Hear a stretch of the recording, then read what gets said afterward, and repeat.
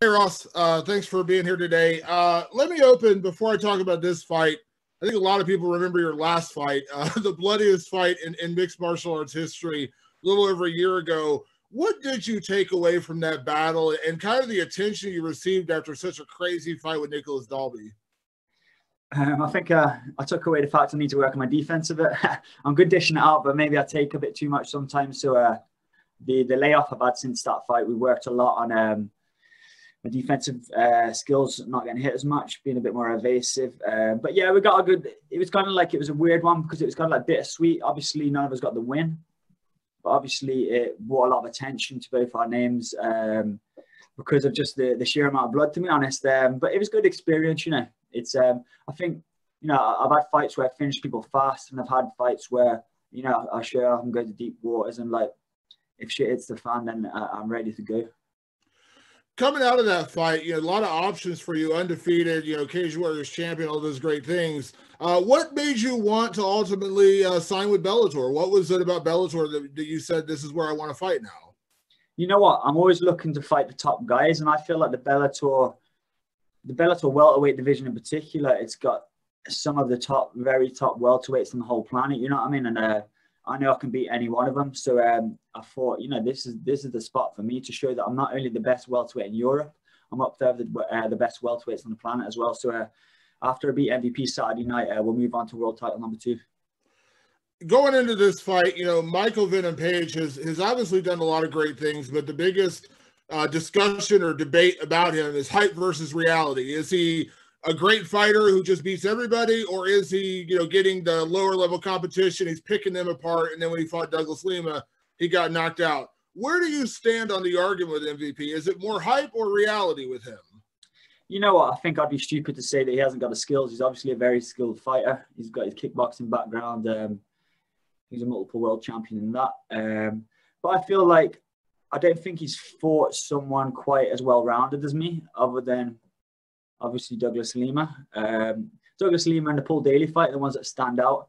Um, and obviously the Lima fight went the way it went. Daley fight was quite close, um, and I just feel like I'm um, I, am very well rounded, and um, I just feel like you know, he has got the skills, but I know I'm better. And um, Saturday night, I'm just going to use my, my full, well-rounded skill set as a mixed martial artist, a combat athlete, and as a fighter in particular to get the win. And last one for me, you know, signing with Bellator, you could have fought a lot of people. As you mentioned, there's a pretty deep welterweight division in Bellator, but getting a guy like MVP who has so much hype and attention behind him, how big would a win here, you know, kind of set the stage? I mean, do you feel like a win here right away could put you in title contention? I'll be asking for it either way once I beat him on Saturday. But here's the thing: I asked for MVP because obviously, uh, from the business side of things, I know uh, the weight that's behind his name and what a win against him will do to for my career. You know, I'm, I do not know the guy enough for personal. It's just strictly business. So, um, obviously, scalping MVP is going to put me right up there, and I'll be asking for the title shot. Okay, we do have a lot of questions, so if we could limit to one or two, uh, we will go to Donna Corby. Hey Ross, how's it going? Um, were you expecting to be offered a fight as big as MVP right out of the gate with Bellator? I know that certain guys who, who have names behind them like yourself have been given, um, let's say, e- slightly easier fights than, than this out of the gate. Were you expecting to get such a big one? Uh, you know what? I feel like I could have got easier fights um, and still got a payday, but that's not the kind of character I am. You know what I mean? So in terms of like, did I expect it to happen? Maybe not, because I felt like I wasn't really sh- from from uh, MVPs.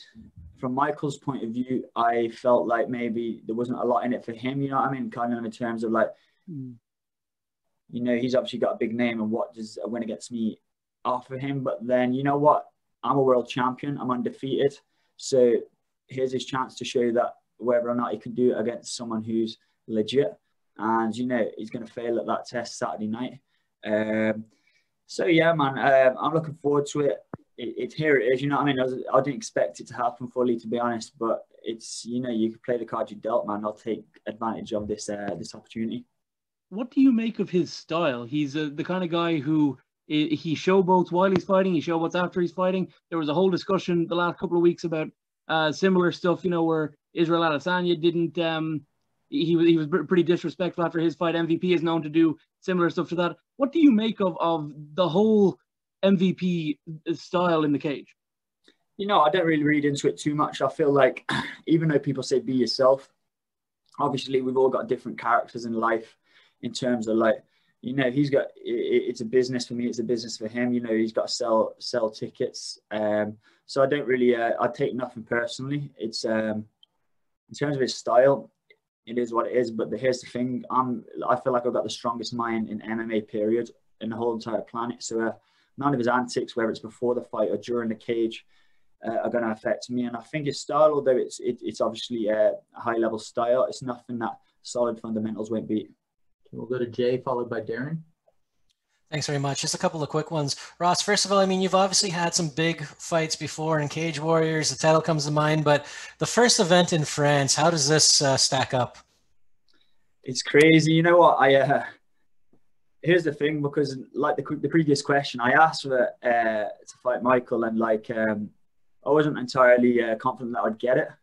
Um, so that the, getting offered him the first place was massive, and I didn't know anything about the French MMA history, so it was like uh, when I was told that, that was crazy. You know what I mean? It's uh, it's just so weird because I started this thing almost like you know ten years ago, just as a, a young lad trying to stay out of trouble, and it's like uh, I never looked too far into the future, and it just like I'm, I'm sitting here I'm sitting. I woke up this morning. I'm a curtains closed. I woke up this morning. I like opened the curtains and like they put me on the the top floor in like some fancy hotel in Paris, and it's just looking over Paris. And I'm like, freaking hell, man! It's like you know, just fighting is what I, what I love to do, and fighting's got me to this position. It's just it's just weird to be honest. Uh, it's not really fully sunk in, but it's going to obviously once it's all said and done in many years to come. Once I'm done fighting, it's just going to be a class, lifelong memory, and especially the whole like. um the BBC deal that's came out today. So it's like a it's like a hat trick.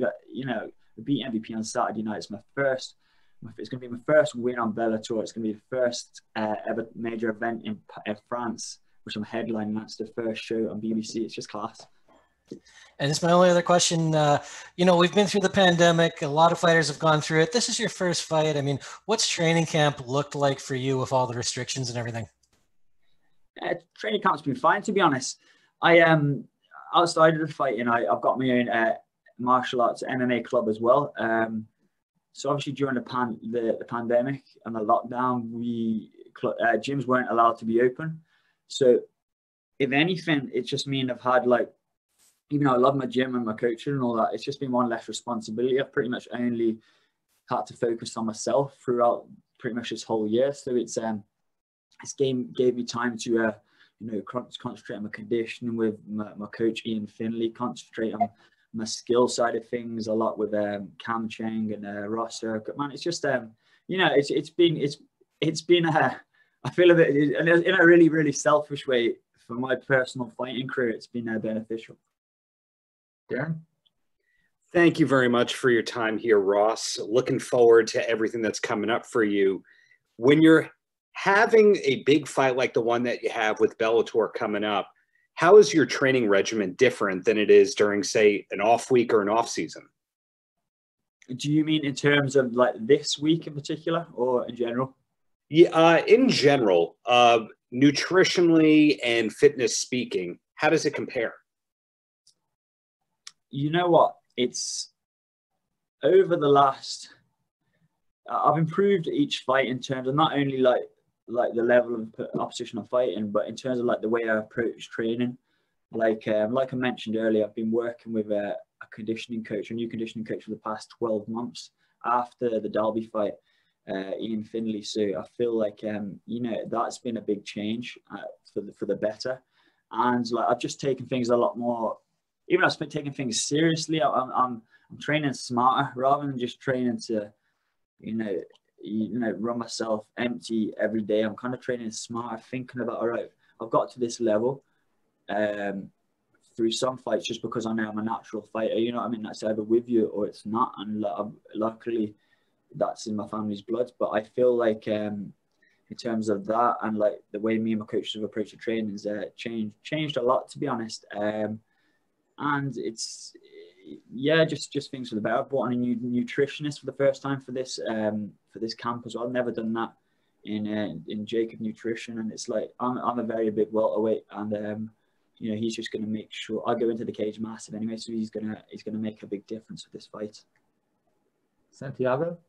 Hi Ross, greetings from Amsterdam. Two short questions for me. Are you happy that this fight is playing out at a catchweight? Yeah, real happy. Here's the thing. Um, obviously we signed for 170, um, which I was happy about. Um, and then he wanted 175 for whatever reason. And in my head, I'm like, all right, that suits me because I'm really big for the weight anyway. Um, but obviously, we didn't let him have it too easy, so I had to uh, go a bit, a, bit of back and forth between Bellator and him in terms of the deals. Um, but here we are at 175. It suits me down to a T, and you know, it just means like it, it's just going to make up for a, a better fight. It's going to show who who's the better fighter on fight night because we haven't we've got that little bit less of a stress on our body making weight, and we're both going there comfortable, have a good fight, and um, and may the best man win. And then last thing for me, Bellator has some excellent Scottish fighters on the roster now. What would it mean to you if Bellator would put up an event in Scotland? And do you think this will be a huge success? For sure, man. The Scottish MMA, the Scottish MMA scene's on fire right now. Um, you know, um, one of my, my good friends and training partners, Chris Duncan, got a big win in Milan. Um, he's an absolute beast. So um, between him and, and the other Scottish MMA fighters and myself, you know, we, we do big things, man. We sell out that arena. I know um, Chris Bongard's got a, a big uh, Celtic football team um, following, you know what I mean? So I don't say he, he'd probably drag a, a, lot of numbers as well, man. So yeah, get it done, man. I'll be MVP on Saturday night. We've got these wins, man. We've got a lot of, a lot of hype. So who knows? Um, maybe Lima, Lima title shot in Glasgow in the, in the future. Okay, we'll take just a couple more. Uh, Lenny? How's it going, Ross? How you doing? Can you hear me? Yep. Yep, loud and clear. All right, perfect, perfect. An MVP this weekend, and yeah, we kind of mentioned earlier that MVP is a huge name. He's very unorthodox, but you know when uh, Bellator gave, rang you and they t- said it's going to be MVP action. How did you kind of feel about that? Um, can you say that last bit one more time, please? Okay, so when Bellator rang you, uh, the opposition, that it will be MVP, how did you kind of um, react to Michael Venom Page being your opponent? I was buzzing. Like I said earlier, I didn't expect to actually get offered it, so it was a it's like a dream come true to be honest. And it's um it's just so big because it's like it's, it's just really motivating because I'm always looking to fight a better opponent on my last and just constantly uh, climb up the ladder and get to the top. So um, an opponent like MVP and uh, the stage that it's on is amazing in terms of like the motivation it's given me for training. I've never trained so hard and so well in my life, and um, and it's just it's exciting. You know, we got um, two top uh, British welterweights um, battling it out first time on BBC, man. So delighted, I'm delighted. All right, two more, Ben. Hi Ross, uh, happy belated birthday for the other day. No, um, I, see, I've seen a lot of um, American fans online who uh, may not be familiar with you and clearly don't watch European MMA, who have just sort of been dismissing your chances as just another can for MVP to crush. Have you seen any of that? And um, does that sort of under um, galvanize you, sort of being underestimated by some people? Um, yeah, I didn't pay too much attention to. I've, I've seen one or two comments. Uh, it's quite funny to be honest, because I'm like, I'm sitting there undefeated with a, a world title around my waist, and I, I'm a can. So I don't know what it says for the other 99% of people fighters out there, but um, yeah, it is what it is, man. What what you're gonna do? It's kind of like in a way, it's kind of like you know the saying goes: if you've got haters and you've got doubters, then you're doing something right. You know what I mean? It means I've got once you you got the attention and you, your name's on the platform, you must be doing something right. And um, yeah, I, I feel on both sides, obviously, because um, every, every person MVP fights, the the he, he gets told he's fighting a can. Um, but you know, I would hope that he knows that he's he's up against that on Saturday, or else it's going to be a really really bad night for him. And uh, just one more from me. You posted a pic of you uh, five years ago working on a building site in Paris um, before you turned over to MMA full time. Do you have any advice to any uh, young fighters who may be working a career alongside their MMA journey? I'll be contemplating as to whether or not to go full time in the sport.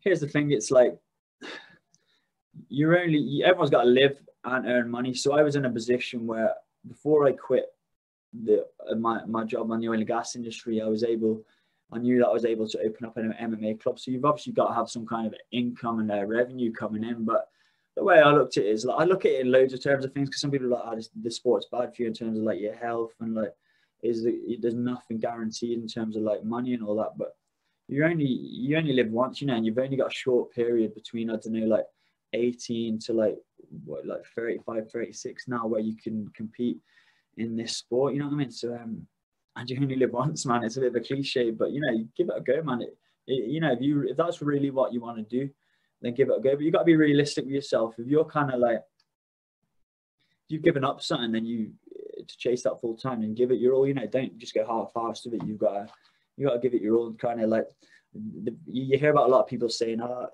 blah blah blah, could have made it if it wasn't for this and that." Like like staying away from the distractions, but that's the hard bit. I think anyone can make it, but the hard bit is staying away from the distractions. You know, staying on on the on the road and that. As long as you turn up, you're consistent and you're training smart, man. Uh, you know you can do it. Cheers, Ross. All right. Thank you very much, Ross. Appreciate it and good luck. Thank you.